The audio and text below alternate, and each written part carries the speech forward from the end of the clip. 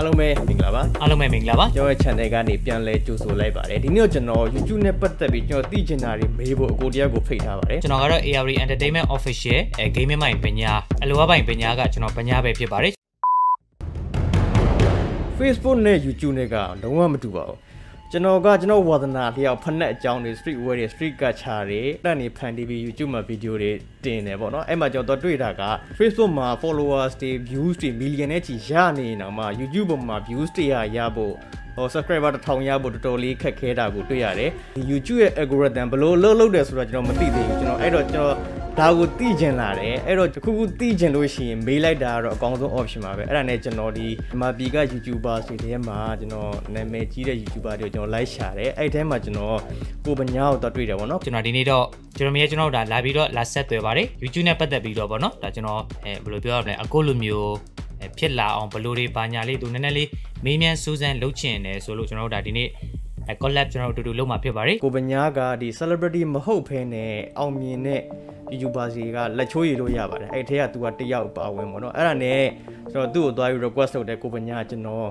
YouTube နဲ့ပတ်သက်ပြီးတည်ကျင်တဲ့မေးခွန်းတွေအများကြီးရှိနေတယ်ကျွန်တော်အကူနဲ့အတူတူဗီဒီယိုလေးတစ်ခုတူတူတွဲလုပ်ပြီးတော့ဟောကျွန်တော်တည်ကျင်တဲ့မေးခွန်းတွေကျွန်တော်တို့တည်းမဟုတ်ဘဲနဲ့ပေါ့နော်နောက်ထပ် YouTube ပေါ်မှာ content fan ဒီကျင်တဲ့အဲတခြားသူတွေအတွက်လည်းအကျိုးရှိစေမဲ့တည်ကျင်လောက်မဲ့မေးခွန်းတွေကျွန်တော် အတူတူလှုပ်ချင်တယ်ဆိုပြီးတော့ကျွန်တော်သွားပြီးတော့ကိုပညာကိုပြောတယ်ကိုပညာကလည်းတော်တော်သဘောကောင်းပါတယ်တော်တော်လဲ humble ဖြစ်တဲ့သူကသူကလိုလိုလားလားနဲ့ပဲကြားတယ်အတူတူလှုပ်ပေးမယ်ဟောသိချင်တာလေးတွေကိုပဲသူ့ကိုပြောပေးဆိုပြီးတော့မေးခွန်းလေးတွေပို့ပေးဆိုတော့ကျွန်တော်မေးခွန်းတွေပို့ပေးတယ်ပေါ့နော်ပထမဆုံးကျွန်တော်မေးထားတာတော့ဒီ YouTuber လောကလေးကိုကိုပညာပဲအချိန်ကစဝင်ခဲ့တယ်ဆိုတာရဲ့အဲ့တုန်းက YouTube ရဲ့အခြေအနေကကောဘယ်လိုမျိုးရှိလဲကျွန်တော် YouTube တွေကိုကျွန်တော်စဝင်တော့ကျွန်တော် COVID first wave ပေါ့နော်ကျွန်တော် COVID first wave မှာ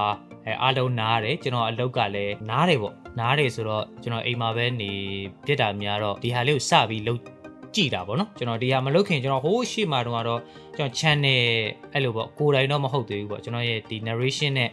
ပတ်သက်ပြီးတော့ကျွန်တော်ဟို channel လေးတွေကျွန်တော်လုပ်ဖြစ်ပါတယ်ဒါပေမဲ့မအောင်မြင်ပါဘူး fail ပါတယ်ကြပါတယ်ကျွန်တော်ကနှစ်ကြိမ်တိုင်တိုင် monetization ကျွန်တော်မရပါဘူးဘာမှလည်းမသိဘူးလေဒီ AR မဖြစ်လာခင်ပေါ့နော်ဒါ AR entertainment ဆိုတာမဖြစ်လာခင်အဲတခြားနာမည်နဲ့ပေါ့ ကျွန်တော်ရှောက်လုပ်ပါတယ် support ကကျွန်တော်ရှောက်လုပ်ပါတယ် fail ပါတယ်နှစ်ကြိမ်နဲ့နိုင် fail ပြီးတော့မှကျွန်တော်တို့ AR အဲကျွန်တော်စပြီးတော့ဖြစ်တယ်ပေါ့နော်ဒါ AR ဖြစ်ပြီးတော့မှ gaming မိုင်ပညာတို့အလိုအပိုင်ပညာတို့ဆိုနည်းလူတိလာပြီဆိုတော့မှကျွန်တော်စပြီးတော့လုပ်ဖြစ်တာပါနောက်ထပ်မေးခွန်းက channel တစ်ခုအောင်မြင်လာဖို့ဘယ်ချက်တွေကိုသတိထားရမလဲဘာတွေလုပ်တင်လဲဆိုပြီးမေးတာပါတယ်ဒါကျွန်တော်တို့သိကိုသိရတယ်ပေါ့ channel တစ်ခုကဘာတွေလုပ်ရင်အောင်မြင်လာနိုင်လဲဆိုတာကိုကျွန်တော်မေးထားပါတယ်ဒီ channel တခုအောင်မြင်လာဖို့အတွက်ဘယ်ချက်တွေသတိထားရမလဲဆိုတော့ အဲအရင်ဆုံးပြောချင်တာကတော့ကိုယ့်ရဲ့ပြိတ္တပေါ့နော်ကိုအားပေးတဲ့ဟိုကြီးကြီးငယ်သူတို့ကိုအရင်ဆုံးဂယုစိုက်တင်တယ်ပေါ့နော်ဒါသူတို့တွေပါကြိုက်တတ်တယ်လေသူတို့တွေပါတွေမကြိုက်ဘူးလဲဆိုတာကိုဒါအရင်ဆုံးသိထားတင်တယ်ပေါ့နော်ကျွန်တော်ဆိုရင်ကျွန်တော်ဗီဒီယိုကြည့်တယ်ဆိုရင်အာကိုပညာဗီဒီယိုကအဲကျွန်တော်တို့ပြင်ပန်းတာတွေကိုအဲပြည်စီတယ်ပေါ့အဲကျွန်တော်တို့ရီရတယ်ပေါ့အဲဒါသူတို့စိတ်ထဲမှာလက်ခံနိုင်တဲ့အတိုင်းအတာတစ်ခုအထိရောက်အောင်ကိုယ့်ဘက်ကရုံမပြဘူးဆိုရင်တော့လေဒါဒီထဲမှာ narration သမားတွေဘာတွေများပါမယ်ဆိုရင်လည်းအဲ့လိုပေါ့ကိုယ့်ရဲ့အတန်နဲ့ပဲ ဒီဆွဲဆောင်နိုင်တဲ့ဟာပေါ့နော်ဖြစ်ခဲ့တဲ့ဆန်လောက်တာတဲ့စားလို့ရှိရလေကျွန်တော်ဒါအရာရာကိုစေတနာလေးထည့်ပြီးလုပ်ပါကျွန်တော်ကတော့အဲ့လိုမျိုးလေးလုပ်ပါတယ်ဒါကိုကြည်ချင်းအဖြစ်ကိုပညာကသူ့ရဲ့ audience ကိုပေါ့နော်တော်တော်လေးကို လေးထားပြီးတော့ view site တက်တဲ့သူဆိုတာကျွန်တော်မြင်ရတယ်ပေါ့နော်ဒီ channel တခုအောင်မြင်လာဖို့ကကျွန်တော်တို့ဒီဘယ်လိုပြောရမလဲ creation ပိုင်းရောဒီဘက်က YouTube ကဘယ်လိုစီကန်းတွေရှိတယ်လဲဒါသူတို့တွေကဘယ်လိုတွေချမှတ်တယ်လဲဆိုတာကိုကျွန်တော်တို့ဒါနှစ်ပိုင်းခွဲပြီးတော့အချိန်ပေးပြီးတော့လေ့လာစေခြင်းပါတယ်နောက်ထပ်တစ်ခုကျွန်တော်မေးထားတာပေါ့နော်ဒီဥစ္စာကိုကျွန်တော်လည်းနည်းနည်းစိတ်ဝင်စားလို့ပေါ့နော်ကျွန်တော်ကြားရတာက views တွေပေါ့နော်ဝယ်လို့ရတယ်ဒီ views တွေ YouTube ရဲ့ views တွေကိုဝယ်လို့ရတယ်ဆိုပြီးကျွန်တော်ကြားဖို့တယ်အဲ့တော့အဲ့ဒါအဲ့ဒီအကြောင်းကိုကျွန်တော်မေးထားပါတယ် ဝယ်လို့ရပါတယ်ကျွန်တော်ဒီဒေါ်လာနဲ့ပေးပြီးတော့ Facebook မှာဆိုရင်တော့ boost လုပ်တာပေါ့နော်ဒါပေမဲ့လုတ်အဲလုတ်တင်လားဆိုတော့အဲကျွန်တော်ကတော့အားမပေးဘူးလုတ်လေရှင်းပြောရရှင်လာကြည့်တဲ့လူကကိုယ့်ကိုကြိုက်လို့လာကြည့်တာမဟုတ်ဘူးဗျာသိလားအဲကိုယ့်ကိုကြိုက်လို့လာကြည့်တာမဟုတ်ဘူးသူတို့ဒီဒီ Facebook လို့ boost လုပ်လို့တာလူတွေစီရောက်သွားတာပဲရှိတာကိုယ့်ရဲ့အမှန်ကန်ပြိတ္တမဟုတ်တဲ့အတွက်ကြောင့်ကျွန်တော်အဲ့ဒါကြီးကတော့ကျွန်တော်အားမပေးပါဘူးဟိုအချိန်တစ်ခုပါပဲကိုယ့်စီမှာ scale ရှိတယ်ငါလုံးနိုင်တယ်ငါအဲလုံးနိုင်တယ်လို့ကိုယ့်ကိုယုံကြည်တယ်ပေါ့နော် အဲဘယ်လိုဟိုဘယ်လိုပြောဒါကြီးကိုအဲလုံနေရမှာကျင်နေတဲ့သူတွေဆိုရင်တော့ဒါသိကြတယ်ခင်ဗျာတနေ့မဟုတ်တနေ့တော့အဲသူ့ကိုဘယ်လိုပြောရမလဲဝင်ငွေအသင့်အသင့်ရှိလာမယ်ပေါ့နော်ကျွန်တော်ဒါအောင်မြင်တဲ့စကားလုံးကျွန်တော်မသုံးချင်ပါဘူးကျွန်တော်ဒါအောင်မြင် YouTuber ဆိုတာကအဲတုံတောင်ဒါအခုဘယ်လိုပြောရမလဲမြန်မာနိုင်ငံမှာသိမသိသေးတဲ့အနေအထားပဲဆိုတော့လေဆိုတော့တဒါလေးပါပဲအဲနောက်တစ်ခုကတော့ကျွန်တော်မေးထားတာကဒီ YouTube ကနေပြီးတော့ပတ်စံရတယ်ပေါ့ YouTube ကနေပတ်စံရတယ်ဆိုတာဘယ်လိုမျိုးလဲနောက်ဘာတွေလိုအပ်လဲ monetization အတွက်ပေါ့နော် requirements တွေပေါ့ နောက်ပြီး monetization ရပြီလို့ရှိရင်ရောပြန်ပြုတ်တက်လားအဲ့ဒါမျိုးတွေရှိလားဆိုပြီးတော့ကျွန်တော်မေးထားပါတယ်ဒါကတော့လုံးဝ basic question တွေပေါ့နော်ကျွန်တော်ဒါပေမဲ့ဒါအခုမှစလုပ်မဲ့တချို့သူတွေအတွက်တည်ထားတဲ့မေးခွန်းတွေလို့ထင်လို့ကျွန်တော်မေးထားပါတယ်ယူကနေပတ်စံရရဲဆိုတာဘယ်လိုမျိုးလဲဆိုတော့ကျွန်တော်တို့ကတရားဝင်တော့မရသေးပါဘူးဒါအားလုံးနဲ့သိမှထင်ပါတယ်မြန်မာနိုင်ငံကိုကျွန်တော်ပေးမပွင့်သေးပါဘူးအဲကျွန်တော်တို့ဘယ်လိုလုပ်လဲဆိုတော့အဲအဲ့လိုပေါ့နိုင်ငံခြားအတိနိုင်ငံခြားလိပ်စာဘာညာတွေနဲ့ကျွန်တော်တို့တွေအဲ့လိုမျိုးကြော်ခွပြီးတော့လုပ်ပါတယ်ပတ်စံရတော့ရပါတယ် အဲဘာတွေလိုအပ်လဲ monetization အတွက် requirement ဟောဆိုတော့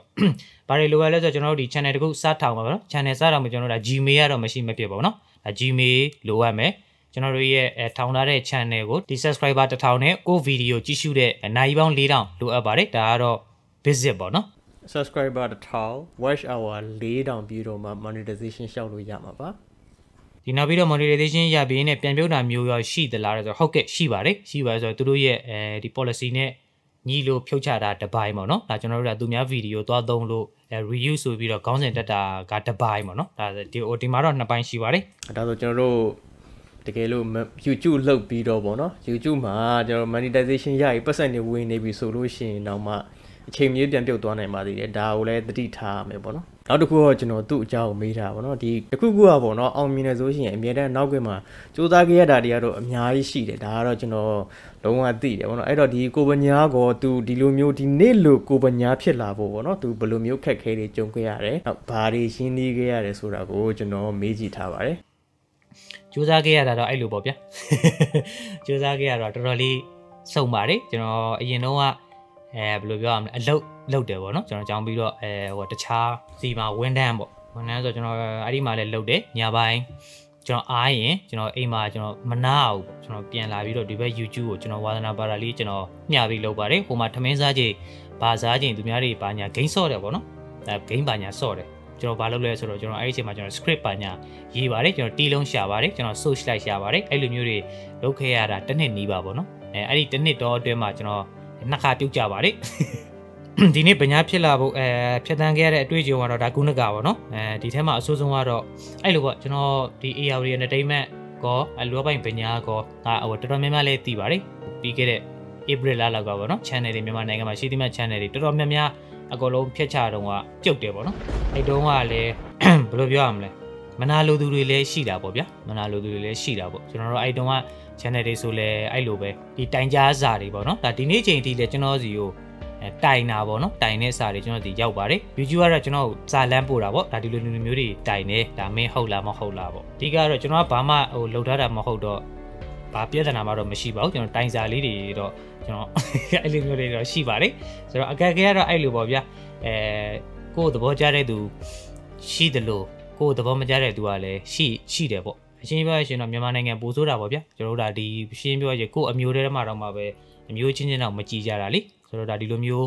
အဲသူပြိုင်ကိုပြိုင်လောက်ကြတာဆိုတော့တိုက်ခိုက်တာပေါ့ဗျာတိုက်ခိုက်တာတွေလည်းခံရပါတယ်ဆိုတော့ဒီပြောချင်တာနည်းနည်းလေး နာမည်ရရလို့ချင်းအဲ့ဒါလေးတွေခံနိုင်အောင်ကြိုးစားပါဒါပဲပြောချင်ပါတယ်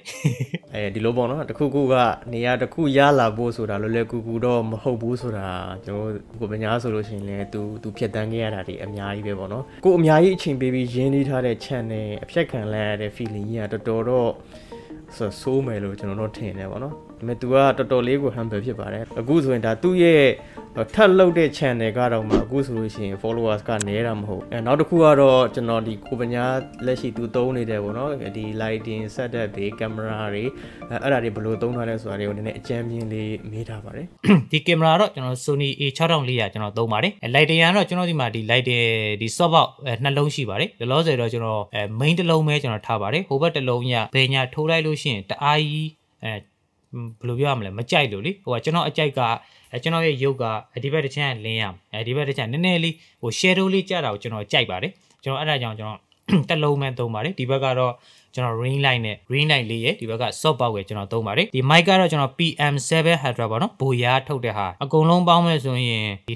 20နဲ့30ကြားလောက်တော့ရှိပါတယ်အဲ lighting mic camera ဘာညာပေါ့နော် monetization ရှောက်ပြီးတော့ကျွန်တော် eligible ဖြစ်သွားပြီဆိုလို့ရှိရင်ကျွန်တော်တို့ Google AdSense ဆိုတာလိုရပါတော့အဲ့ Google AdSense ကကျွန်တော်သိရတဲ့လောက်ဒီမှာနိုင်ငံရှောက်လို့မရဘူးပေါ့နော်အဲ့တော့ကျွန်တော် Google AdSense ဘယ်လိုရှောက်ကြတယ်ဆိုတာကိုကျွန်တော်မေးထားပါတယ် အဲသူ့ရဲ့တက်မှတ်ချက်ပြည့်ပြီးအဲပြည့်ပြီးပါညာဆိုရင်ကျွန်တော်တို့ဒီ channel monetization အားလုံးအောင်ပြီဆိုတော့မှကျွန်တော်တို့ရဲ့ YouTube ကပေးတဲ့လားစာကိုလက်ခံဖို့ကျွန်တော် ban account လို့ပေါ့နော်ဒါ Google AdSense ဆိုတာကအသစ်ရှိရင်လည်းအသစ်ရှောက်လို့ရတယ်ပေါ့နော်ကိုကြီးမှရှိပြီးသားဆိုရင်လည်းကိုကြီးမှရှိပြီးသားနဲ့ချိတ်လို့ရပါတယ်ကျွန်တော်တို့ဟိုမြန်မာနိုင်ငံလိပ်စာတို့ဘာတို့တော့အဲမရပါဘူးကျွန်တော်တို့ဒီနိုင်ငံညာလိပ်စာကိုအသည့်ရဲ့ လိပ်စာနဲ့ထည့်ပေးလိုက်လို့ရှိရင်တို့အဲပြန်ပြီးတော့အကြောင်းကြားရပါမယ်ကျွန်တော်တို့ဗာလဲပင်ကုတ်ပေါ့နော်ကျွန်တော်တို့ဒါပင်ကုတ်6လုံးတို့လှမ်းပေးပါတယ်အဲ့ဒီပင်ကုတ်ထဲမှာလူကြီးမင်းကကိုယ့်ရဲ့ပတ်စံကိုတရားဝင်ထုတ်လို့ရမှာဖြစ်ပါတယ်အဲ့တော့ကျွန်တော်တို့ YouTube ရဲ့ဒီ monetization ကိုအောင်သွားပြီးတော့ခုနကပြောတယ်ပေါ့နော်ဟော subscriber 1000 watch hour 4000ပြည့်ပြီးတော့ monetization ပတ်စံစရတော့မယ်ဆိုလို့ရှိရင်ကျွန်တော်လောကမှာကဒီ Google AdSense ဆိုတာရှောက်ကောင်ပေါ့နော်ဒီ Google AdSense ရှောက်တာကတော့ဘာလဲဆိုတော့အဲဒီကိုပညာပြောတဲ့အတိုင်းဆိုလို့ရှိရင်ကျွန်တော်တို့ ဒီမြန်မာနိုင်ငံကတော့ရှောက်လို့မရဘူး foreign မှာတော့ဥပမာ Thailand ဖြစ်ဖြစ် Singapore ဖြစ်ဖြစ် US ဖြစ်ဖြစ်မှာအတိတယောက်ရှိလို့ရှိရင်သူ့ရဲ့လိပ်စာကိုထည့်ပေးရမယ် Google ကအဲ့ဒီလိပ်စာကိုပင်ကုတ်6လုံးလှမ်းပို့မယ်ပေါ့နော်အဲ့ဒီပင်ကုတ်6လုံးကိုကျွန်တော်တို့ကဒီဘက်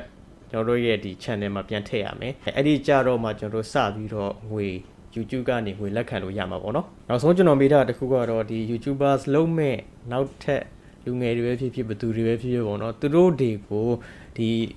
senior YouTuber တယောက်အနေနဲ့ပေါ့နော်ဘလို့အကြံပေးစကားပြောခြင်းလဲလို့မေးထားပါတယ်။နောက်ထပ် YouTuber လုံးမဲ့စိတ်ကူးရှိနေတဲ့သူတွေတို့အကြံပေးစကားဆိုတာကကိုဝန္ဒနာပါတယ်ဆိုရင်ချပါချပါဆိုတော့ဟိုရှင်းပါလို့ရှိရင်ပတ်စံရလို့အဲဝင်လောက်တယ်ဆိုတာမျိုးထက်ပေါ့ဗျာအဲကိုဒါလေးကိုလောက်ကမှပျော်နေတယ်ဆိုတာလေးက ပို့ပြီးတော့ခံနိုင်ရှိမယ်လို့ထင်ပါတယ်။ဝါသနာပါတယ်ဆိုရင်တော့ချပါချကောင်းပါတယ်ဒါလေးကလည်းဘယ်လိုပြောကိုယ့်ရဲ့ပိုင်ဆိုင်မှုတစ်ခုခုပေါ့နော်။ video ကလည်းနောက်ပိုင်းလောက်ကြားလို့ရှိရင်တော့နည်းနည်းလေးအဲကျွန်တော်မြန်မာနိုင်ငံမှာတိုးတက်လာမယ်ထင်ပါတယ်။လက်တလောချင်နေရတော့ YouTuber တွေသိချင်နေမကောင်းပါဘူးဆိုတော့အားလုံးပဲကျေးဇူးများတင်ပါတယ်ကျွန်တော်တို့မေးပေးခဲ့တဲ့အဲ brother Jeremy ရဲ့ဒါသူ့ channel က sneaker net ပေါ့နော်အဲ့တော့ဒါ sneaker net မှာအဲလူငယ်ကြိုက်လေးတွေတော်တော်များများတင်ပါတယ်ဆိုတော့အဲဝါသနာပါတယ်ဆိုရင်လည်းကျွန်တော်အဲ sneaker net ကိုတွားပြီးတော့ subscribe လေးလုပ်ပေးပါဆိုတော့အားလုံးပဲကျေးဇူးတင်ပါတယ်ကျွန်တော်မြင်ရတွေ့ရသလောက်တော့ကိုပညာကသူ့ရဲ့ viewers တွေကိုတော်တော်လေးတန်ဖိုးထားတယ်လေးလေးစားစားဆက်ဆံတယ်သူ့ရဲ့ personality ကလည်းတော်တော်လေး humble ဖြစ်တယ်ပေါ့နော်ပြီးတော့ဒီလိုပါပဲဘယ်လုံးမဆိုကတော့ ကိုလုံနေတာတခုခုကကြိုက်တဲ့သူလည်းရှိမှာပဲမကြိုက်တဲ့သူလည်းရှိမှာပဲအားပေးတဲ့သူတွေလည်းရှိမှာပဲအားပေးတဲ့သူရှိလို့လည်းသူဒီနေ့လိုမျိုး viewers တွေအများကြီး followers တွေအများကြီးရပါတော့ဒီလိုပဲမကြိုက်တဲ့သူတွေလည်းရှိနေမှာပဲเนาะဒါဒီလိုပါပဲဘယ်လုံးမဆိုကြိုက်တဲ့သူနဲ့မကြိုက်တဲ့သူကတော့ရှိနေမှာပဲကျွန်တော်ရဲ့ဒီ request ပေါ့เนาะကျွန်တော်သိချင်တာတွေကိုဖြည့်ပေးတဲ့ကိုပညာကိုလည်းကျွန်တော်ကျေးဇူးတင်ပါတယ်လို့တရားပဲပြောချင်ပါတယ်ကိုပညာလည်းဒီထက်ပို့ပြီးတော့အများကြီးပို့ပြီးအောင်မြင်ပါစေလို့ကျွန်တော်ဆုတောင်းပေးလိုက်ပါတယ်အဲကျွန်တော်ဗီဒီယိုကိုဆုံးဖြတ်ကြည့်ပေးတဲ့အတွက်လည်းကျေးဇူးတင်ပါတယ် subscribe မလုပ်ကြသေးရင်လည်း subscribe လုပ်တော့နိုင်ပါတယ်